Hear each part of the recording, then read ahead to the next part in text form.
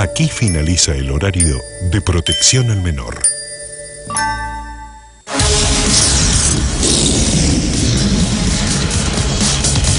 Hoy en Fuego Cruzado, los polirricos.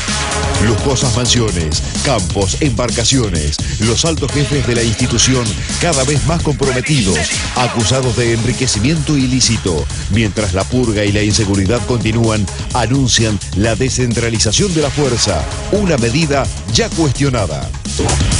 Juez es el político más gracioso del país. Fue electo intendente de Córdoba con el 60% de los votos y con su estilo H de honestidad le ganó al candidato oficial. Lejos de Menem, Dualde y Kirchner, quiere ser el referente de la renovación política. Las batallas del presidente. Mientras avanza la ofensiva contra la Corte, la promoción de Zaffaroni y la destitución de Molineo Connor, Gustavo Vélez habló de narcodemocracia en los 90 y abrió la polémica en el propio gobierno. Va a estar además aquí, buenas noches, el jefe de gabinete de ministros, el señor Alberto Fernández, una noche particularmente intensa. Hola chicos, buenas noches, aquí en Fuego Cruzado. Eh, en este momento exacto está ocurriendo aquí en América, en Bolivia en particular, un episodio que está conmoviendo a América, que puede producir la caída de un presidente o prácticamente un golpe de Estado o algo por el estilo, y que en algún sentido tiene un parecido con lo que pasó acá en la Argentina en 2001, eh, cuando la gente finalmente se rebeló contra el gobierno de Fernando de la Rúa. Estamos en contacto en este momento con la señora Angélica Lazarte, ella es periodista allí en, en Bolivia, de una red que se llama ATV. Eh, Angélica, buenas noches. Buenas noches, Marcelo. Buenas noches, Argentina. Bolivia realmente está viviendo jornadas increíbles, de increíble violencia. Les quiero informar que hoy 18 personas han fallecido en la sede de gobierno en la ciudad de La Paz. Hablamos de 18 personas muertas a bala en diferentes enfrentamientos.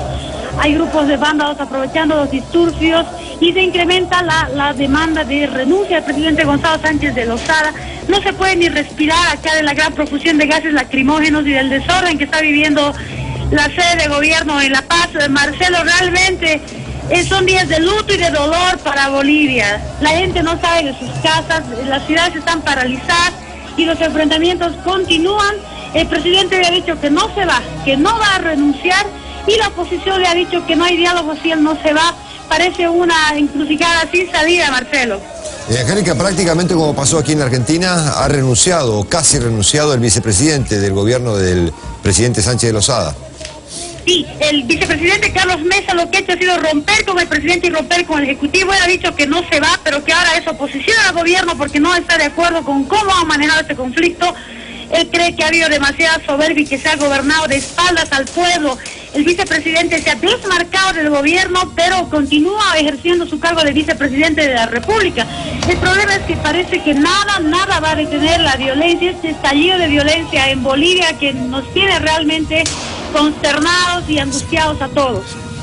Eh, Angélica, eh, eh, eh, sintéticamente, el origen del conflicto, ¿cuál es? El conflicto se desata con una demanda de que el gobierno no exporte gas a Estados Unidos de Bolivia porque creen que ese recurso primero debe beneficiar a este país que sufre una crisis económica muy profunda. Se pide diálogo y concertación y eso no se produce y empiezan bloqueos en el altiplano. Hay intervención militar, mueren cinco campesinos y el conflicto se traslada a la ciudad del Alto y luego a la ciudad de La Paz en el altiplano boliviano y desde ayer es una ola de violencia que se ha desatado sin tregua. Ayer fueron 26 muertos, hoy son 18 y los enfrentamientos continúan. El presidente ha dicho que el gas no se vende sin que no existe una consulta con los bolivianos, pero ya nadie quiere creer, ya nadie entiende razones y la ola de violencia continúa.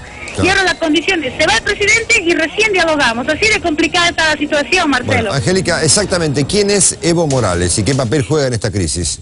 Evo Morales es el jefe nacional de un partido que se llama Movimiento Socialismo Más.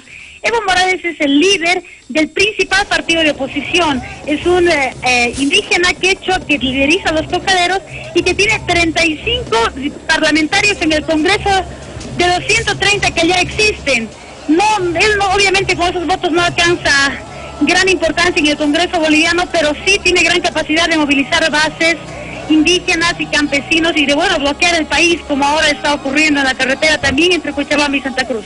Angélica, por último, eh, finalmente, Angélica, todos los países exportan cosas, ¿no es cierto? Materias primas, la Argentina lo hace, todos los países lo hacen. ¿Por qué se oponen a que Bolivia exporte gas? Es algo difícil de comprender. La primera que eh, se está vendiendo, Bolivia le vende gas a Brasil, pero la venta de este energético no se ha traducido en mejores condiciones de vida para los bolivianos, no se ha sentido en el bolsillo de la gente y hay la presunción de que ese dinero está siendo robado y solamente aprovechado por las transnacionales y por algunos políticos en Bolivia. La segunda razón es que el puerto más factible para exportar nuestro gas a Estados Unidos sería Chile.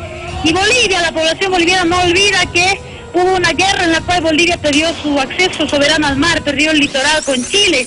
Entonces son razones históricas y también económicas las que hacen desconfiar del gobierno y del manejo que le vaya a dar a la venta de ese recurso que según los bolivianos es lo único que nos queda. Angélica, gracias por este informe. Muchísimas gracias. Gracias Marcelo. ¿eh? Buenas noches. ¿eh? Bueno, qué parecido, ¿no? Con la Argentina de la Rúa, ¿no? El puerto, ¿Eh? puerto de Chile. Ahí está el gran, el meollo del conflicto. Y no quieren que salga por Chile. El asunto de que nadie, a pesar de que Evo Morales tiene 35 diputados, como decía esta señora, nadie tiene una mayoría y por ahora la legalidad la representa el presidente. Ahora, es evidente que eh, las reformas liberales en América Latina son muy difíciles, ¿no?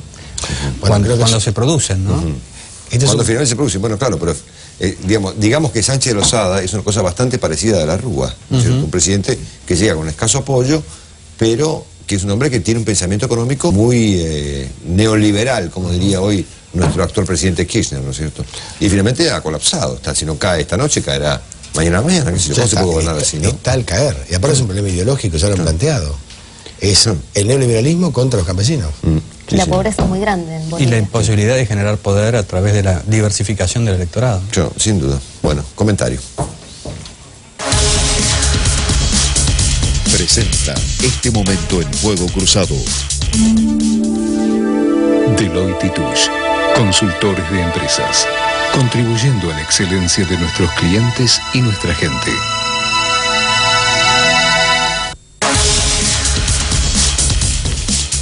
Bueno, eh, está claro que en muchos países del mundo el capitalismo genera riqueza. Aplicarlo donde no lo está es realmente una tarea prácticamente imposible. Por lo tanto, es una suerte de círculo vicioso, decir, cómo se crece, cómo se produce el desarrollo en países pobres como Bolivia, como el nuestro por ahí inclusive, em, con, cuando la gente, bueno, finalmente se opone, tal vez con mucha razón y con mucho derecho, pero se opone al fin a recetas que en otras partes del mundo han dado mucho éxito. Bueno, ¿Cómo andamos por acá por la República Argentina? Quiero hacer un comentario muy breve respecto de algo que particularmente me llamó la atención del presidente Kirchner. Llevamos casi cinco meses de gobierno del presidente Kirchner, eh, yo diría que del lado positivo, sin duda, está la reconstrucción del poder presidencial, la idea de la autoridad presidencial está reconstruida. Había mucho temor, yo mismo lo tuve, mucha gente tuvo la, idea de que, bueno, un presidente con pocos votos, un presidente con un partido con mucho internismo, podía estar complicado. Ciertamente el presidente superó esta prueba de fuego tan dramática, que era la de imponer eh, un cierto nivel de autoridad presidencial. Está claro que el presidente Kirchner es un hombre eh, mucho más pragmático de lo que los medios de comunicación creen del presidente Kirchner. Y sin duda es un tipo capaz. Estamos frente a un presidente que tiene una capacidad política realmente importante. Por el lado negativo, yo diría que eh, la Argentina es un país que está gobernado por un equipo de exactamente cinco personas. El presidente de la República, su esposa, el jefe de gabinete que está por llegar esta noche aquí al programa, eh, el ministro Julio Devido, el señor Zanini y alguno que otro eh, que rodea a un, presidente Kirchner que está prácticamente rodeado de un pequeño círculo de colaboradores, eh, básicamente en confrontación con todo el mundo. Es decir, estamos gobernados por un equipo muy chico de personas y que además tienen una agenda de trabajo ciertamente un poco caótica.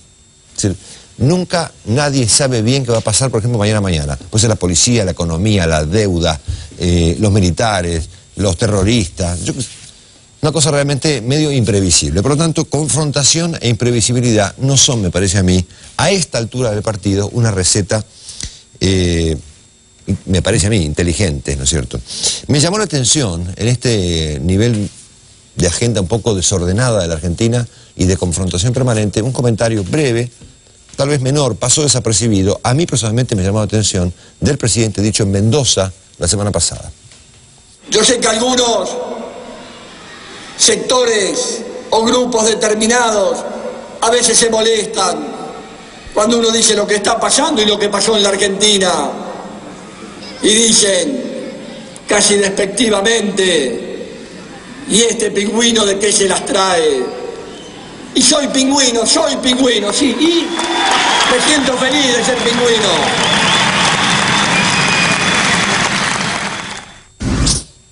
Bueno, en tren de confrontar, y mi comentario es brevísimo, yo personalmente preferiría a esta altura de partido una confrontación un poco más ambiciosa. Presentó este momento en Fuego Cruzado. Deloitte y Touche, consultores de empresas, contribuyendo a la excelencia de nuestros clientes y nuestra gente. Lujosas mansiones, embarcaciones, campos, tiempos compartidos, hoteles, cuentas bancarias en paraísos fiscales. Así viven los polirricos. El comisario Juan Manuel Caruso no sale de su casa de Bahía Blanca y ya le quitaron el arma y el uniforme. La justicia trata de determinar cómo llegó a ahorrar 900 mil dólares cobrando solo 2 mil pesos por mes. A todas las propiedades que se le atribuyen con un monto de 5 millones de pesos se le suman 250 mil dólares atrapados en el corralito y hoy se detectó que reservó una camioneta 4x4 valuada en más de 83 mil pesos a nombre de su presunto testaferro, el gasista Luis Aguado. Pero Caruso no es el único. La Dirección de Asuntos Internos investiga a 24 jefes policiales acusados de enriquecimiento ilícito y hará lo mismo con otros 149 de alto y medio rango. En tanto, más pruebas se suman en contra de Alberto Canepa, Aníbal de Gastaldi y Alberto Sobrado. Este último por quien se inició la investigación al no declarar un depósito de 333.549 dólares en una cuenta en las Bahamas, tendría un monto aún muy superior. La crisis en la policía bonaerense aumenta y mientras acusan a exoficiales y agencias de seguridad de vender información a secuestradores, el gobierno provincial lanza mañana su plan de descentralización funcional de la fuerza, aunque hay quienes aseguran que la corrupción será aún mayor. Bueno, ustedes están viendo a un camarista de la provincia de Buenos Aires, el doctor Fernando Maroto, que nos acompaña esta noche. Doctor, ¿cómo le va? ¿Qué tal? Gracias por venir realmente. ¿eh? ¿Qué, ¿Qué, le sugirió la imagen, siendo usted un camarista de prestigio en la provincia de Buenos Aires, de un comisario, el señor Caruso, de la localidad de Médanos, con un millón de dólares en efectivo en una caja de seguridad? Yo creo que estos son indicadores, junto a otros que son bastante importantes, de una etapa que culmina, una etapa de corrupción, una etapa de, muy negativa para la seguridad pública. Esto no es, es un proceso de muchos años. Yo creo que esto tiene que ver con una deformación del sistema. No sé si en esto vamos a coincidir. Yo creo que esto es lo que a lo mejor algunos cultores de la ciencia política llaman partidocracia. No una democracia que es la que tiene que estar al servicio del ciudadano. La partidocracia funciona al revés le arranca el voto al ciudadano y luego se va. Se refugia en su sistema, en su organización. Ahora, ¿cómo, las autoridades judiciales, inclusive de la provincia, eh, dejaron llevar las cosas a este extremo? Es decir, la dirigencia política de la provincia, los jueces de la provincia, han eh, dejado, han permitido que las cosas lleguen al nivel de que tenemos hoy. 24 comisarios de la bonaerense el distrito más complicado del país en materia de seguridad. El que no tiene yate tiene country, que no tiene camioneta 4x4, Mercedes-Benz, una locura que ayer contaban la tapa de los diarios y escribimos en este informe. Y este caso en particular de un comisario que ahora, cuando cae, el intendente dice, ah, eh, era narcotraficante. ¿Por qué no dijeron antes? Bueno que esto es explicable si observamos cómo ha funcionado el sistema penal en los últimos años. La policía, el sistema judicial o el Poder Judicial y el sistema penitenciario, que son los tres pilares. Los tres están con gravísimos problemas de funcionamiento, problemas de corrupción, problemas de ineficacia. Y, en ese marco, obviamente, si todo ese sistema refleja una ineficacia superior al 99%, dígame, ¿qué posibilidades tenemos de salir adelante? Ninguna. Usted, ha dicho, doctor Maroto, que a su juicio la ola de secuestros tiene estricta relación con la policía. Lo leímos en Clarín hace menos de una semana. ¿Piensa realmente eso? Sí, eh, yo creo que hay bolsones, hay mm. zonas liberadas, eh, digamos, y evidentemente una pasividad para, combatir este delito que nos, lleva a esa, a esa fuerte sospecha. Mm. Por eso yo creo que está tan claro todo esto, que ya no tendríamos que perder más tiempo, ya el diagnóstico lo, lo- lo sabemos, y tenemos que de inmediato abordar la solución. En el caso nuestro, desde el Poder Judicial, estimamos que debe crearse la Policía Judicial.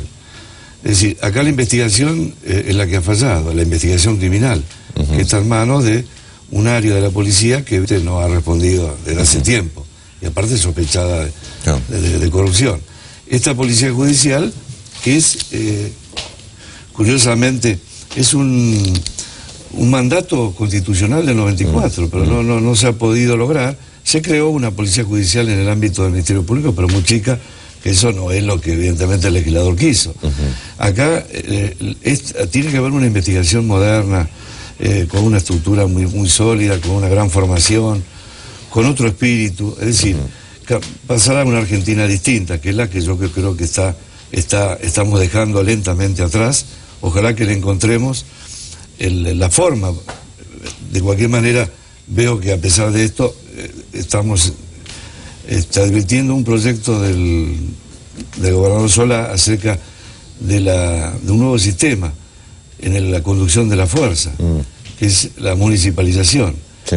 Y yo quiero adelantar, porque esto, a- acá hay graves errores conceptuales, se está aplicando erróneamente la ley de seguridad pública de la provincia de Buenos Aires.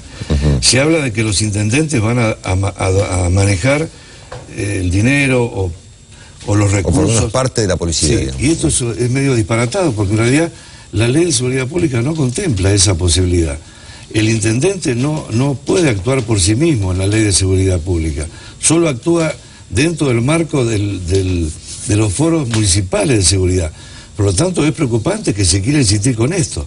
De la misma manera se quiere eh, obligar a los foros vecinales, que, so- que es la participación ciudadana, también a controlar dinero cuando lo- los vecinos, lo- lo- a lo sumo, lo, lo máximo que le podemos pedir es que controlen, que ya es fundamental. Antonio. Sí, doctor, eh, fracasaron los fiscales en la investigación. Ahora está buscando seguridad privada, tampoco están controladas. La sensación que uno tiene es que si hay un clima de inseguridad tan grande que se está recurriendo tipo manotazo de ahogado a cualquier recurso para tratar de garantizar un poco la seguridad. Sí, sí, es lo, es lo que se ve. El, tema, el Poder Judicial tiene una, una historia negativa. En el 98 se implantó un sistema de enjuiciamiento desconocido, que no hubo debate, no hubo, se aprobó a libro, a cerrado y costó 700 millones de dólares. Ese sistema nos ha arrastrado, porque usted dice bien, los fiscales no han demostrado el menor interés en, en investigar, han delegado la investigación en la policía. Así que mm, yo creo que esto está diciendo a la clara que evidentemente este sistema acá lamentablemente no va a funcionar y que los únicos, y no porque también ha, ha habido errores cuando la instrucción está en manos de los magistrados, pero creo que ese es el único camino, en mi opinión. Doctor Maroto, esta aparición permanente de policías con fortunas, a pesar de que están en la mira tanto de la política como los medios hace tanto tiempo, la policía de la provincia de Buenos Aires, ¿no habla de una cierta complicidad del sistema político en, tapar o en, ir presentando de a dosis, de a poco? Por eso yo, como dije al comienzo, esto es opinable, eh, una partidocracia necesita de una policía como esta. Jamás podría tener una policía al servicio del ciudadano. Por lo tanto, esto no es casual. Se busca deliberadamente una policía autoritaria. Y no solamente una policía, sino todas las instituciones. En realidad, si uno observa el funcionamiento en la provincia de Buenos Aires, también en el caso digamos, un poco alejado de esto, pero no, no tan así, la Dirección de Rentas, que eh, intimó a 100.000 contribuyentes a pagar que si no le remataba la casa, y la mayoría estaba al día. Decir, esas son prácticas autoritarias, que hay que desterrarlas y que tienen que ver con todo esto. Ahora, doctor, si la corrupción es estructural, ¿no? Quiere decir que cuando se renueva un jefe policial, el que llega también puede corromperse. O hay una corrupción estructural en la policía. Sí, sí, ya le, por eso el esquema es perverso y ya no hay posibilidad de salir.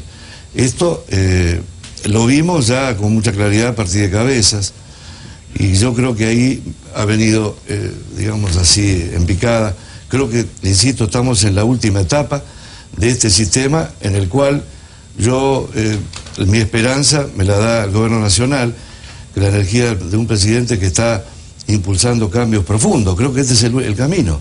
Y acá vemos la diferencia entre un presidente que ante la menor irregularidad cortó por lo sano, afuera, Y estamos viendo cómo en un proceso de donde hay 30 o 40 policías que gran parte de ellos tienen, eh, digamos, bienes que no lo pueden resolver y andamos dando vueltas que sí, no, que mañana, que pasado.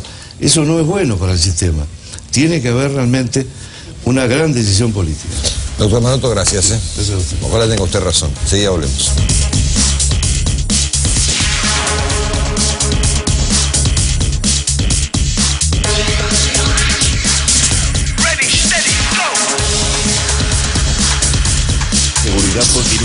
Anuncian la descentralización de la fuerza.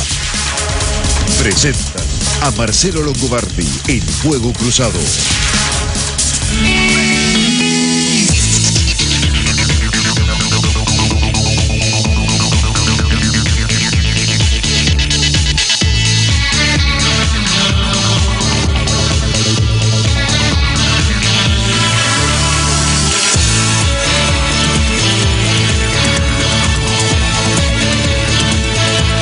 600 millones de dólares de inversión.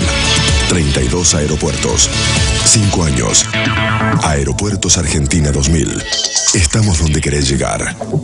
Con más de 20 años en el país, Carrefour renueva a diario su compromiso con la comunidad, contribuyendo al desarrollo de la Argentina y su gente. 3.594 vuelos mensuales uniendo el mundo, con un 93% de puntualidad. Aerolíneas Argentinas. Auspicia este programa Movicon Bell South. El contrabando de cigarrillos es evasión y no paga impuestos. Ahora hay un número para que pague. 0800 999 2668. Denuncialo. Es un mensaje de la Cámara de la Industria del Tabaco y de la Administración Federal de Ingresos Públicos. Rosamonte, la hierba que te quiere, de corazón a corazón porque el sabor de cada día comienza con té y yerba mate Rosamonte. Luis Juez es el político más gracioso del país. Fue electo intendente de Córdoba con el 60% de los votos y con su estilo H de honestidad le ganó al candidato oficial. Lejos de Menem, Dualde y Kirchner, quiere ser el referente de la renovación política.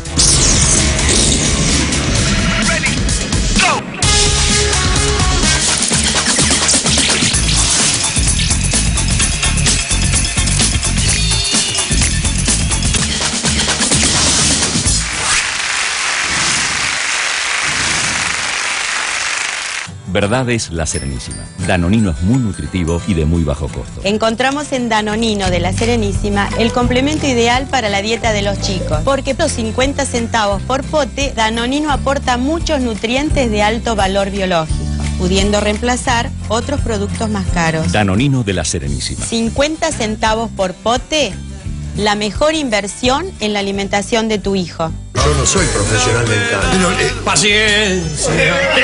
Así que que jodí de mer Kurt Lilith, la lune se tombe sur la de tout le monde s'en va la mer. Y este corazón se quedó solo también, buscando su consuelo en el ayer. Basta. Se guardó la soledad y el miedo enorme de morir lejos de ti. La experiencia fue mi amante y el desengaño mi amigo. Toda carta tiene contra y toda contra se da. Muy bien. Polémica en el bar. Una creación de Gerardo Sofovich. De lunes a viernes a las 11 de la noche por Canal 9. Hiperoferta Rodó. Acondicionador de aire split de Samsung con kit de instalación, 1.399 pesos. Venta telefónica 41 27 99 99. Si yo te digo que está haciendo un programa cómico, ¿vos me crees? Laje está haciendo un programa cómico. Voy a hacer algo con la tijera de No existe la justicia. Me repugna. Cada vez que habló de política no le fue demasiado bien. Esto es un quilombo.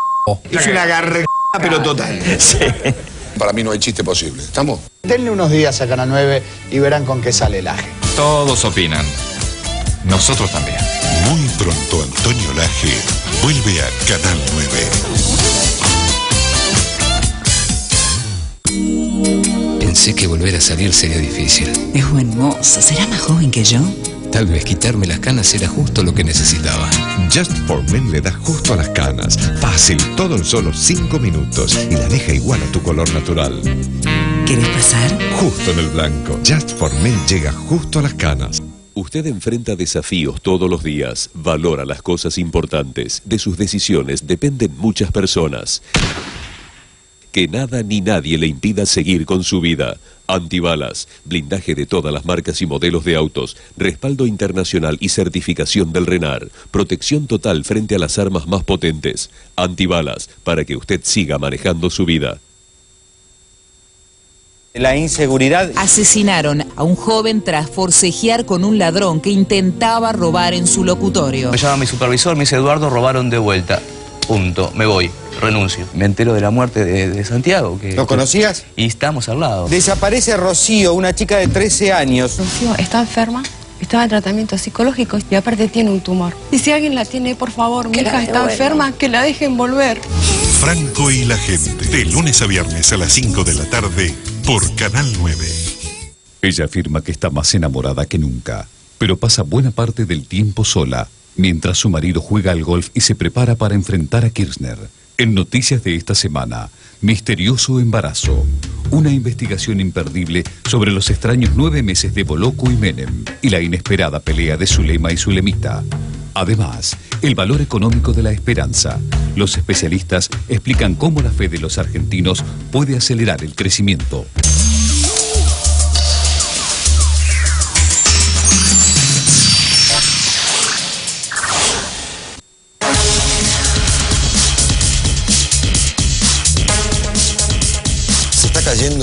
Presidente en Bolivia. ¿Cuánta preocupación le causa esto al gobierno argentino? Buenas noches, señor ministro.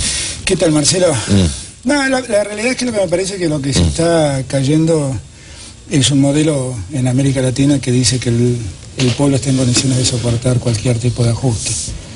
Y me parece que eso es lo que está pasando en Bolivia, la reacción de sectores del campesinado, que definitivamente no les cuesta mucho sobrevivir a un modelo que está más preocupado por los números macros que por la realidad de la gente. De todas maneras, obviamente nos preocupa mucho que exista una crisis institucional de esta magnitud en, en un país hermano como es Bolivia. Le leo una definición de hace un ratito de la diputada Elisa Carrió, que ha dicho que el gobierno del presidente Kirchner presiona a los periodistas con el fin de callarlos y que no hay un esquema republicano claro. Esto no sucede con un periodista, sucede con la mayoría de los periodistas, hasta con los mobileros. Firmado Elisa Carrió. Lo dijo esta tarde en una radio. y anoche en la televisión. No debe tener cosas más importantes que decir. De todas maneras, yo creo que Elisa Carrió tiene, es una dirigente que tiene muchos valores y definitivamente yo creo que la Argentina que se viene, uno debe potenciar las, las bondades, los valores, las cosas más este, positivas de la gente. Evidentemente este tipo de análisis no está entre lo más positivo que tiene Elisa Carrió, esencialmente porque no es cierto. eh, la verdad es que yo le podría hacer escuchar un cúmulo de periodistas, un número importantísimo de periodistas críticos, con los que, bueno, eh, acá tenemos uno. No acá tiene más remedio uno, que tolerar. Con los que, bueno, nos sometemos a sus críticas y tratamos de, de debatir cuando podemos. Eh, pero bueno, son las reglas de juego, no me parece para nada, para nada justo lo que está diciendo, no me parece que sea verdad y me parece que realmente lastima a una república que nosotros queremos eh, construir. Ha pasado esta semana, o la semana anterior mejor dicho, algo que eh, no sé si todo el mundo lo, lo rescató y lo destacó en su verdadera dimensión. Es esto que ha pasado con Zaffaroni. Eh, digo, en la Argentina de hoy en día, para ser juez de la Corte Suprema, uno debe, entre otras cosas, someterse a la discusión pública durante siete horas. Hay que bancársela. Y hay que bancársela, pero el juez que llega, todos saben con qué pasado llega, todos saben con qué condición, en qué condiciones llega, y podemos confiarle eh, de mejor modo. Piense usted, analice el caso Zaffaroni y analice los últimos jueces que se nombraron Vamos en la Corte. a discutir el tema enseguida. Antes quisiera preguntarle, eh, considerando lo que decía aquí hace un rato el camarista Maroto, un tipo muy serio, ¿cuánto le preocupa, no a usted ni al equipo, sino al presidente Kirchner en particular, la cuestión de la inseguridad? Mucho. Porque Mucho, la verdad es que yo hasta ahora lo he visto así echar policías, pero de la inseguridad prácticamente ni ha hablado el presidente. Pero no, perdóneme, este. Marcelo, Mm. pero una vez más no estamos de acuerdo. A ver. Fíjese, eh, en verdad, hace dos meses, la, Argentina es tan vertiginosa que a veces las cosas Mm. no se olvidan. Hace dos meses atrás, usted en este programa y en la radio estaba muy preocupado por los robos de autos en el Gran Buenos Aires con muertes. Sí. ¿Se acuerdan? yo, no yo, todos. Todos. y con razón, y con razón. ¿Y el gobierno nacional qué hizo? Nada, lo hizo solo. No es verdad. Mm. Puso a Gendarmería y a Prefectura y armó, Gustavo Vélez armó lo que mm. llamó el, programa conurbano, que fue poner prefectura en las calles, poner gente, gente de, de, gendarmería en las calles, habilitarlos para que directamente intervengan con el juez sin necesidad de pasar por la policía bonaerense, fue cuando se descubrieron los desarmaderos mm. y ese tipo de delito terminó drásticamente desapareció. pero sabe, ministro, que el delito multa, ¿no es cierto? Usted lo saca del desarmadero, secuestran gente. O roban camiones por las rutas. O matan comerciantes como aquí en, en la mañana, acá de cuatro cuadras, en la Carlos de Miguelete. Seguramente. Mm. Pero lo que no es verdad es que el gobierno no hizo nada atacó frontalmente ese tipo de delitos, atacó frontalmente a los desarmaderos, terminó con la mafia del desarmadero de los autos. Y bueno, obviamente, cuando se le puso un, dique de contención a ese tipo de delitos, los delincuentes habrán buscado otras alternativas. El problema del delito en la provincia de Buenos Aires es muy severo, es muy grave. Recién lo escuchaba con mucha atención al, juez, eh, porque en verdad lo que se planteaba acá era un problema institucional muy serio en la, nada más y nada menos que en la institución que está llamada a garantizar la seguridad de los bonaerenses. Así que este, yo creo que para el gobierno nacional el problema de seguridad es un problema enorme, porque es un problema enorme eh, el problema de cada argentino y es un problema que afecta a muchos argentinos. Hemos tratado de colaborar, vamos a tratar de colaborar con la policía, con la provincia de Buenos Aires, porque sabemos los problemas que tiene la policía de bonaerense. Vamos a tratar de colaborar en todo lo que podamos. Eh, ayer leyendo un comentario de Joaquín Morales Solá, planteando un poco cómo está la agenda del presidente, en qué temas está y demás, él contaba que el gobierno está trabajando en una inclusión, digamos, de los piqueteros en programas de cooperativos y demás. Y en un momento, Joaquín cita una frase del presidente, eh, dijo, aquellos que no entren en los programas los espero con el Código Penal. ¿Piensa eso, presidente? ¿Realmente? Y bueno, el, fenómeno piquetero es un fenómeno que tiene diferentes vertientes, mm. esa es la realidad. Hay gente que honestamente se ha quedado sin trabajo, que honestamente se ha quedado, que lamentablemente se ha quedado al margen del, sistema social argentino y que están reclamando ser incluidos. Ellos son los que con más facilidad aceptan volver a las reglas del trabajo por vías de cooperativas y, demás. Hay sectores que a partir de allí se organizaron de otro modo, se organizaron más políticamente, pero que también eh, su primera vocación es la de lograr que la gente trabaje. Y hay sectores que vienen de la política, que han encontrado que en la forma del piquete pueden seguir haciendo política. Mm. Y ellos en verdad no tienen la misma vocación que los anteriores. Bueno, nosotros lo que queremos es que la Argentina sea una Argentina sin exclusión, que la Argentina contenga a los argentinos y lo que queremos es que ese tipo de protesta es una protesta que está llegando a su fin, porque el gobierno está proponiendo salidas y está proponiendo un diálogo que se expresa en cooperativas de trabajo y en modos de, acceder a trabajos con más transparencia y con más cristalinidad. Y entonces la protesta de esa naturaleza se convierte en una, en una perversa mecánica política, que eso sí me parece que hay que atacarlo. ¿Y con código penal? Bueno, el que infringe la ley, si hay una Argentina que se ha terminado con Kirchner es la Argentina de la impunidad. Eso sí lo tengo claro.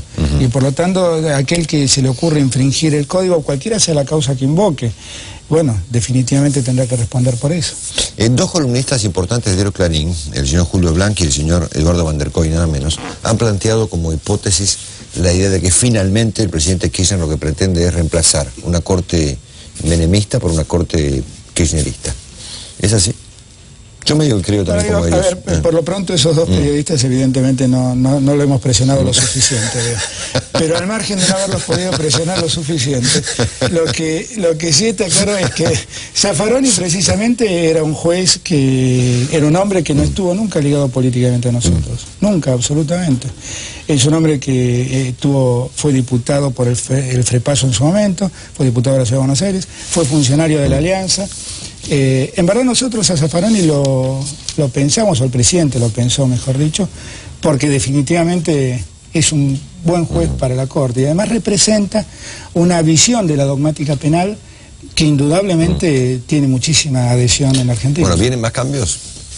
Habrá en la Corte, es decir, incentivará al Ejecutivo más juicios políticos. Es una decisión que tiene que tomar el Poder Legislativo, que tendrán que ver los diputados. Bueno, usted sabe, ministro, que lo que ha ocurrido en la Cámara de Senadores y Diputados hasta impulsado por el presidente, hasta por un discurso en la televisión del presidente. un caso. Bueno, está bien, pero está, está bastante claro que es el presidente Kirchner quien impulsa los cambios en la Corte. para bien o para mal, pero es él. lo que la Argentina necesita mm. es una Corte de jueces probos de jueces dignos, porque finalmente los jueces de la Corte son los que determinan finalmente sobre los derechos de propiedad, los derechos de libertad de todos y cada uno de los ciudadanos. Así que eh, yo no sé hasta dónde, hasta dónde va a llegar esta, entre comillas, cambios en la Corte. Lo que sí sé es que ante cada cambio buscaremos el mejor Bueno, esta mañana les cuento, si no leyó los diarios, sé que tampoco han presionado a la Nación, porque la Nación publicó una lista de nueve candidatos, mujeres. Sí, sí, bueno, ahora veo que los diarios están muy preocupados por mm. porque sea una mujer la que acceda a la Corte. No, los diarios dicen que es el gobierno quien pretende poner una mujer en la Corte, lo cual me parece fantástico, pero hace falta lugares, y los lugares hay que hacerlos. Bueno, mm. este, los lugares no se hacen volitivamente. Nosotros, la verdad, lo que ya conocemos, y conocemos todos los argentinos, es que los, jueces, los jueces, este, los jueces, los jueces del poder no tienen ningún sentido porque son jueces finalmente variables y cambian de acuerdo al poder de turno. Nosotros lo que necesitamos son jueces para el Argentina. Le hago una última de este tramo del reportaje. ¿Cómo quedó Belis en el gobierno después de su denuncia de la narcodemocracia? Que a mí personalmente me pareció una enorme exageración. Sí, a mí me parece que, que, Gustavo se excedió en el comentario, pero también yo no quiero ser parte de la Argentina hipócrita lo que dijo Belich es lo que dice gran parte de la sociedad argentina. Y la verdad yo no me voy a rasgar las vestiduras por lo que dicen muchos Pero mire, si yo vengo acá a la televisión y repito lo que dice la gente, ¿sabe qué? Es un escándalo esto. bueno, usted me habrá escuchado, usted me habrá escuchado decir, no sé si se lo ah. dije en, el mm. programa de radio también, me habrá escuchado decir mm. que me parece que los ministros estamos para administrar la cosa pública. Y la tarea de repetir las cosas que dice la gente está la, la elección. En la tarea de administrar, en la tarea de administrar no está incluido el análisis político. Mm. Así que lo mejor es que nos dediquemos a administrar y a rendir cuentas de nuestros actos. Eso sí lo creo, lo hablé con Vélez, que es un formidable ministro de Justicia y de Seguridad, que trabaja muchísimo, que tiene esta opinión, que es la opinión de muchos argentinos. En todo caso, si, si en algo ha pecado es en no haber tenido la, prudencia de recordar que es ministro, que cuando habla está hablando un ministro. Pero de ningún modo me voy a, me voy a sumar a los que a los que cuestionan el contenido, porque el contenido es lo que piensan muchos argentinos. Bueno, yo lo voy a dejar un segundo con la posibilidad de que usted presione a esos tres señores que están ahí enfrente, porque las preguntas, como miren las caras de preguntas dramáticas que tienen enseguida, se las van a formular. Yo voy a ir a saludar, si usted me permite. ¿Lo conoce a Luis Juez? Lo he escuchado alguna vez. Ah, este, es el es el flamante intendente de Córdoba, que creo que está ahí en Coaxil con nosotros. Señor intendente, buenas noches, ¿cómo le va? ¿Qué tal? ¿Cómo le va? ¿Cómo anda usted? Muy bien. Bueno, yo un poco impresionado, y creo que muchos argentinos que lo han escuchado estos días, bastante impresionados por su figura y por su, hasta por su lenguaje, ¿no es cierto? Cuéntenos un poquito, usted fue en su momento el fiscal anticorrupción de, que había durante la gobernación de la Sota en Córdoba, ¿no es cierto? Fui el, el primer fiscal anticorrupción y el último que tuvo la provincia de Córdoba, porque después que me echaron no eh, se destruyó la Fiscalía de Corrupción y se armó un fuero penal económico. Bueno, allí, allí imagino usted una carrera política cuando de la Sota lo echó. No, no, no, yo hace 20 años que, ah. que milito en política y esto fue un accidente más en la actividad política. Soy un militante de la política. Bueno, ¿a qué atribuye su triunfo tan con Córdoba hace unos días que tanto impacto produjo? Eh, mire, 50 eh, días antes de una elección, todas las encuestas que había y muchas de ellas hechas por la CIDE, cuando preguntaban qué calidad tenía que tener el próximo candidato intendente, qué, requisitos debía reunir, casi entre un 70 y un 80% de entrevistados hablaban de honestidad. En un país donde estamos número 82 en el índice de transparencia internacional, 92, perdón, que en una elección para un cargo ejecutivo la gente privilegie la honestidad y la decencia por encima de cualquier otra cuestión, no es poca cosa. Así que me parece que el domingo 5 lo que la gente votó fue esto, concretamente. Lo que, el mayor compromiso que asumimos con, la, con el pueblo de la ciudad de Córdoba es decirle, vamos a administrar de una manera distinta, vamos a gobernar pensando en la decencia, en la honestidad, cosas que parecen media desusada, que por ahí cosa de viejo, pero eh, es el mayor compromiso que hemos asumido con los cordobeses y por eso me parece que hemos arrasado en las urnas. Bueno, le voy a contar una, cosa personal. Estuve en Córdoba hace, por una razón personal, hace 15 días. Y hacía tiempo que no iba yo a Córdoba. Y la verdad que me encontré con una ciudad que está arrasada eh, por la suciedad, por la pobreza, por la marginación. La vi realmente muy mal. ¿Se arregla una ciudad como la segunda ciudad del país, la segunda ciudad más importante de la Argentina, solamente con honestidad o presumo yo ahora falta otra cosa también, ¿no? Además. Pero mire, doctor, o sea, lo que pasa es que tenemos que de esto sacarnos la careta y dejar de ser hipócrita. Eh, sin honestidad no hay posibilidad de pagar el contrato a Cliva, sin honestidad no hay posibilidad de renegociar con la empresa de colectivo, sin honestidad no hay posibilidad de que los Remi Taxi tengan la tarifa que corresponde, sin honestidad ni de esencia no hay posibilidad de que las empresas que tengan que licitar sean las empresas que realmente tengan el mejor precio y la mejor calidad y no la empresa del amigo. O sea, esto es al revés, esta es una condición sine qua non. Nosotros exigimos Obviamente que yo no voy a salir con una pala de honestidad junto a los papeles del piso. Pero si la plata que tiene aquí el contrato de la basura y si nosotros podemos controlar el concesionario que tiene la basura en Córdoba y le lo podemos multar por no haber cumplido concretamente con algunos ítems del pliego, y en vez de terminar renegociando una deuda sideral que hoy debe el municipio con, el, con, la prestataria del servicio. Y esto quiere decir que está faltando honestidad, por supuesto. Sin, la honestidad es un requisito que hay que empezar a exigir a la clase política dirigente. En la constitución, los códigos, las normas procesales hablan de idoneidad. Nada se dice de honestidad. Nosotros, obviamente, que aparte de eso tenemos 1.500 técnicos profesionales, tenemos un equipo de gente trabajando, obviamente que con honestidad solo no alcanza, pero es un requisito que hoy hay que empezar a exigirlo si queremos que este país cambie, si no, no hay posibilidad. Frente al estilo acá usted planteó el estilo H, ¿qué es el estilo H? Esto, honestidad y huevo, mucho huevo para que la cosa cambie, pero mucha honestidad, si no, no sirve. Y no hay una palabrita armada, eh, quiero que ustedes lo sepan. Eh, esto tiene que ver con, con, lo que queremos dejarle a nuestros hijos. Yo tengo 40 años recién cumplidos y tengo un absoluto compromiso. Tengo, tengo tres motivos fundamentales para estar planteando esto. Se llama Agustina, Martín y Milagro. Son tres criaturas. A mí con 40 años ya me chorrearon la mitad del futuro. Y vienen por el de mis hijos. Y quiero que le diga, doctor, usted sépalo y coméntele a todos los que lo ven, con mi hijo no van a poder. Así que, ni con los de míos, ni con los de mis amigos, ni con los que nos votaron, eh, no nos van a poder robar el futuro de ellos. Entonces me parece que hay que ponerse... Hemos logrado armar en Córdoba una cosa que le ha dado de seco al bipartidismo. Hemos construido, como dice el presidente, por encima los aparatos, por arriba las estructuras, en contra de las corporaciones políticas y económicas, y hemos sacado casi el 60% de los votos. Esto demuestra que eh, no son imbatibles las corporaciones, que se puede construir. Hemos juntado gente que eran sumamente prestigiosa en su actividad profesional. Los obligamos a salir de su comodidad y a entrar en un terreno fangoso como es la política. Y la gente ha privilegiado esta cuestión y lo lo ha eh, beneficiado con su voto. O sea, nosotros queremos mostrar que esto que el presidente dice se puede hacer, no es, no es una intelequia, no es una cosa de locos. Seguramente las corporaciones van a patalear, seguramente vamos a tener mucha resistencia, seguramente vamos a estar como en su programa en fuego cruzado, pero tenemos una buena trinchera que hemos acabado con la gente. Dos cositas preguntarle. Primero, ¿qué opina? ¿Habló con De la Sota al final? Eh? No, todavía no, todavía no. Le hemos mandado una batería al celular, creo que se ha quedado sin batería, pero en cualquier momento me está llamando. ¿Y qué opina de Kirchner, del estilo Kirchner? ¿Es un estilo similar al suyo? Yo lo admiro al presidente, a pesar de que no, no he participado en la interna partidaria por una cuestión, cuando decidimos compulsar por la candidatura intendente hace nueve meses atrás, dijimos no vamos a participar de ningún proceso electoral nacional ni ningún proceso electoral provincial para evitar que la gente no se confunda, porque si no uno termina tironeando a la gente de un lado para otro. Pero tengo, y debo reconocerlo públicamente, nunca he cruzado dos palabras con el presidente, pero tengo eh, una profunda admiración por el presidente. Y, me parece que lo que él está pregonando pasa y tiene mucho que ver con lo que nosotros queremos construir. O sea, esto de enfrentar a las corporaciones y construir de manera eh, no sé, ustedes los porteños son muy afectos a todo este tipo de palabras, la transversalidad, la lateralidad. Claro, usted juega eh, el, personaje de la lateralidad y digo, me vieron jugar al fútbol, yo juego de cuatro, será porque soy lateral, digo, bueno, no, no sé cómo se llama esto. Lo que yo le quiero decir es que nosotros hemos juntado gente con el único requisito de honestidad y no ha ido muy bien. Excelentemente bien. Usted sabe, juez, que todos se suben al caballo, al carro del ganador y que ahora todos quieren ser amigos de los tres diputados que van a venir por el Partido Nuevo y del senador que vienen a partir del 10 de diciembre y también sacarse una foto con usted, ¿no? Me lo va a decir a mí si Roberto Carlos me dice, acá tengo un millón de amigos, yo no quiero. ¿Sabe una cosa? Hace, hace dos meses atrás ni mi mujer me daba pelota. Ahora me sobran los amigos, me escriben cartas, me mandan mail, es una cosa divina. Usted sabe que las chicas creen que soy rubio de ojos celestes, un metro noventa. Ni bola me daban hace dos meses atrás. No, yo sé quiénes son los que realmente les, sirve lo que nosotros decimos, lo que nosotros estamos haciendo y aquellos que quieren colgarse la corbata, pero bueno, por eso no me la pongo. ¿Usted ganó solo o le debe algo a alguien? A, mi familia y a los cordobeses, les debo todo lo que tengo. ¿No tiene compromiso? Faltando 20 días para la elección con la última encuesta que publica un matutino, empezaron a aparecer financistas para bancarnos la campaña. Porque lo nuestro fue terrible, una campaña pocamente, decirle que a usted era poco. Cuando veíamos un vecino que veía una propaganda, la obligación era juntar a los vecinos de la cuadra y contarle la propaganda, para que se le idea cómo era el tema. Empezamos una corporación que gastó fortuna.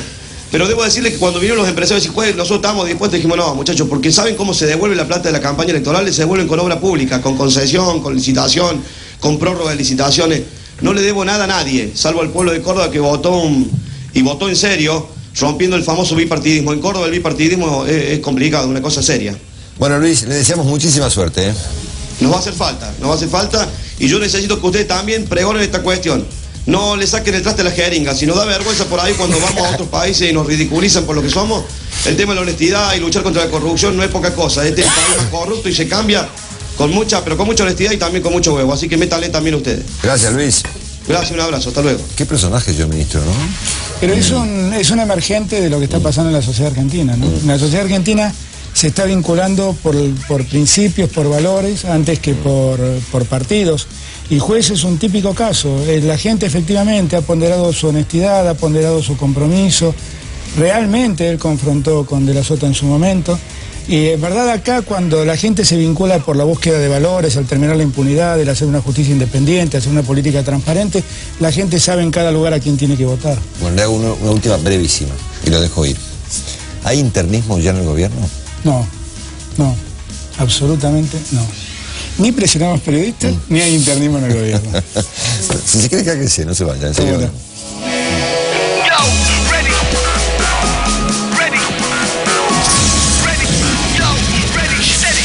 Auspicia este programa Movicon Bell South. Rosamonte, la hierba que te quiere, de corazón a corazón. Porque el sabor de cada día comienza con té y yerba mate Rosamonte. Si lo molestan los dolores musculares, llegó Voltaren Emulgel. Su fórmula con diclofenac, recomendada por los médicos, penetra rápidamente en la piel. Llega al lugar de la lesión y acelera el proceso de recuperación. Voltaren Emulgel, experiencia mundial en el alivio del dolor corporal. Ahora Fangio 21 es Fangio 3x1, porque es la nafta que te da más potencia, más rendimiento y triple puntaje Serviclub hasta el 31 de octubre. ¿Buscas la mejor nafta? Encontrala en IPF.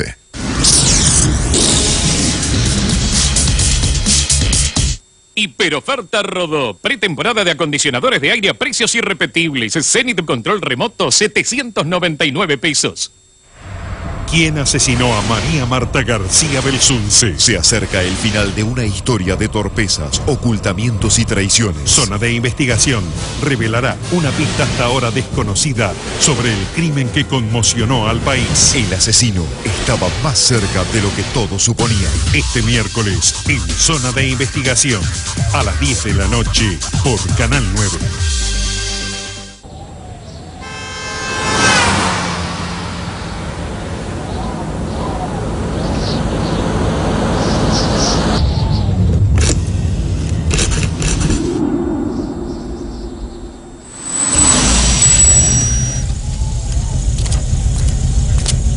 Cuando un auto no frena es porque la oxidación y la corrosión afectan el sistema de frenos. El líquido para frenos Bardal lo protege, aún en las condiciones más severas. Líquido para frenos Bardal. Si no lo usas, se nota. ¿Querés enterarte primero? ¿Querés saber la verdad? ¿Querés conocer la opinión de prestigiosos columnistas? Infobae Diario te presenta de lunes a viernes las mejores columnas de opinión escritas por reconocidos analistas de la realidad nacional e internacional. Infobae Diario, la verdad, te guste o no. Buenos días, hoy sí primaveral. Qué lindo día. ¿Qué va a ser lindo día? Si está todo nublado, refrescó otra vez. Primavera, la peor de las estaciones. Resurgen las alergias, el acné para los chicos, vuela el polvo en la calle, todas las enfermedades, todo pasa en primavera. Es un horror la primavera. Llega el 21 de septiembre y llamas de Madariaga se brota. Televisión, el resumen irónico de los medios. Este jueves a las 10 de la noche por Canal 9. Tengo dentadura postiza. Se mueve y me irrita las encías. Use Sibon. A diferencia de cremas y polvos, Sibon son finas almohadillas que fijan la dentadura, evitan irritaciones y se quitan limpiamente. Es como volver a tener mi propia dentadura. Sibon, fijación confortable todo el día. Justo en el blanco. Just for Men llega justo a las canas. Las cubre con tonos discretos y las deja igual a tu color natural. Fácil, en solo 5 minutos. Justo en el blanco. Just for Men llega justo a las canas. Hoy les voy a presentar una nueva revista, Fortuna. Después de leer tantas revistas de negocios, siento que faltaba algo así. Las revistas mensuales no pueden cubrir toda la actualidad y los diarios de economía publican tantas cosas que no tengo tiempo de leerlos. Fortuna resuelve este problema. Es la primer revista semanal de negocios de la Argentina. Como Business Week, resume lo importante una vez por semana. Fortuna es una herramienta para crecer. Esta semana, ¿por qué cambia Pérez con pan?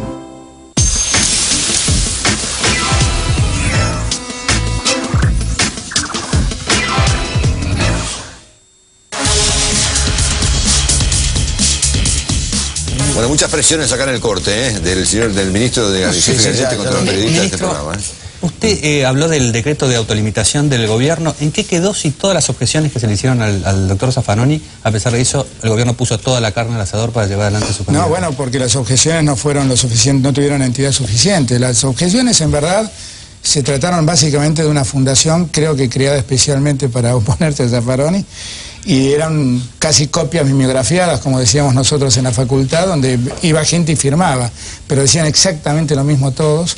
Fue una acción, una acción de, operada por una entidad. ¿Y los elogios? Los elogios, había elogios internacionales de mucho peso. De hecho, estuvo hasta el presidente de la Corte Suprema de Costa Rica acompañando a Zaffaroni el día en que él tuvo que debatir en el Senado. ¿Cómo convencieron a Ada Massa, hipermenemista, para que se alineara con el gobierno y votara la suspensión de Molineo Connor? Bueno, yo no sé cómo se habrá alineado, lo que sí sé es que... Es raro, ¿eh? No, no sé si es raro. La Argentina también ha cambiado en muchas cosas y tiene vocación de revisar las cosas que han ocurrido hay que darle crédito a aquellos que puedan reflexionar y cambiar de posición. Dicen que el gobierno envió justo en esa semana una remesa de dinero. ¿A, la, Rioja? No, no es cierto. Antonio mira descreído esa respuesta, ministro. No, no, no. Estoy viendo las señas. Por ¿De qué duda? ¿De qué duda? no, dicen que le mandaron 14 millones de pesos de, que le debían de coparticipación. No es así. Nosotros no, hacemos esas cosas. Mm. Las presiones son más fuertes de este lado. ¿eh? Bueno, hay mucha presión para que vayamos. La producción El señor jefe de gabinete, muchísimas gracias. Muchas gracias. Y la justicia me puede ordenar. Lo que no puede hacer un ministro es desordenarme lo que ordena la justicia. ¿qué es lo que y, le pidió? y, no, y, y, yo no. Pero no, tengo no, más no, contestó, ¿qué es lo que le pidió el ministro Vélez que usted supuestamente lo cumplió? No lo voy a decir. Pues, ¿Es tan complicado? que desobedezca. No lo voy a, no lo voy a decir. El ministro Gustavo Vélez no tardó en contestar las acusaciones que Roberto Giacomino hizo en Fuego Cruzado, al asegurar que lo echaron porque algo sabía. Lo que tiene que hacer Giacomino es explicar por qué hubo sobreprecios escandalosos en las compras que le otorgó a su concuñado y no mandar mensajes de distorsión mafiosa que de ninguna manera nosotros vamos a tolerar. Pero al día siguiente, el ministro enérgico de buenos modos y que contribuyó a desbancar a Nazareno y ahora va por Molineo Connor y Barrio Nuevo, abrió la boca nuevamente. Llamar las cosas por su nombre, la Argentina de hoy significa básicamente advertir, diagnosticar, para no volver a cometer esos errores, lo que ha sido el riesgo cierto en la década del 90 de que nuestro país se convierta en sintonía con la línea marcada por el presidente Kirchner, el ministro Belis calificaba así duramente al gobierno de Menem, a quien él llegó a escribirle los discursos. La democracia donde no se respetó la ley, donde los funcionarios públicos lavaron dinero sucios, donde llegaron al poder con el afán de sino de valijas que iban y venían con un fuerte nivel de complicidad con la corrupción. Pero fue quien fuera funcionario de Menem y socio político de Caballo. También habló de compra y venta de leyes en el Congreso de los 90, algo que los diputados no le perdonaron y pidieron su interpelación. Estemos de acuerdo con, Gustavo Vélez. Eh, hola, diputado, ¿cómo le va? Buenas noches. A mí lo que, lo que sí me parece es que no puede quedar así porque no, no, discutir si me gusta o no me gusta Kirchner, si le gusta o no le gusta Lavania, si es simpático o no el jefe de gabinete, sino que estamos hablando de complemento leyes y de narcodemocracia. Yo tengo mi opinión personal que no es el momento de, darla al respecto, pero en cualquier caso, ¿usted qué piensa? ¿Puede quedar esto así o no? Esto no puede quedar así. Es decir, Vélez tiene que decir con nombre y apellido quiénes fueron los diputados que se compraron, cuáles fueron las leyes que se vendieron, qué quiere decir esto de narcodemocracia. A mí la hipocresía me cae muy mal, en la política y en todos los órdenes de la vida. Entonces, cuando una persona ha estado cuatro años al lado de Menem, desde escriba de los discursos hasta ministro del Interior, diez años después, decir estas cosas, si es verdad, si las puede acreditar, si las puede poner en evidencia, es buena hora que lo haga. Yo he sido diputado de la oposición durante todos esos años. No estuve adentro de lo que pasaba en el bloque peronista. Pero me parece que hacia la salud moral del país, que estas cosas se ventilen con fundamentos y no con frases huecas. No, porque además, ¿sabe qué? Estamos acostumbrados a discutir todo el tiempo de modo muy fuerte cosas que duran en la discusión pública más o menos 24 horas, ¿no es Sí, cierto? ¿verdad? Estupideces, grandes asuntos, secuestros dramáticos, tonterías menores, es decir, todo es como de una vertiginosidad y una vorágine espantosa, hasta que viene un tipo y dice cosas fuertísimas, como dijo Beris, ¿no es cierto? Dijo narcodemocracia y dijo compromete leyes. Bueno, y finalmente queda como un debate, no culpa de los periodistas, ¿no es cierto? Después lo perdonaron los ministros que lo habían criticado, se acabó la discusión, pasamos a otro tema. Y una cosa de loco. Marcelo, le, le doy un ejemplo. Yo vengo planteando hace no menos de 6, 7 años que el ajuste por LIBOR de los contratos de peaje significó para las concesionarias un aumento de más del 50% de sus ingresos, mientras que los costos se mantuvieron congelados a causa de la estabilidad que tuvimos la suerte de gozar los argentinos durante 10 años. Lo planteé en la época de Menem, lo planteé en la época de la Rúa, escribí artículos en los más importantes del país, lo planteé desde luego en la Cámara de Diputados. Ahora le acabo de decir recién, antes de entrar en Cámara, al jefe de gabinete Aníbal Ferná- a Alberto Fernández, que le voy a arrimar todos los elementos, porque he visto los periódicos el 420 tema, no sé cuánto es la suma, pero es muy grande. Bueno, en concreto. Entonces, Eh. estas deben ser las actitudes. Cuando uno plantea una cosa, con números, con Claro. cifras, con nombres, Ahora, ¿cómo van a hacer para, para que Beris vaya a la Cámara? Porque los ministros en Argentina Ah, bueno, si el la justicialismo hace la de siempre, No. si el justicialismo hace la de siempre, que primero Mm. se enfada, después los trapitos los lava dentro de casa y todo está como era entonces, acá no va a pasar nada. Nosotros no tenemos fuerza desde la oposición para traer al ministro a la Cámara. Ahí debe demostrar el justicialismo que realmente quiere que esto, si es así como lo dijo el ministro, se ventile adecuadamente. Y si no, será un episodio más de la política argentina. Tirar barro y al final dar vuelta a la página del diario. No se vaya, seguida hablemos.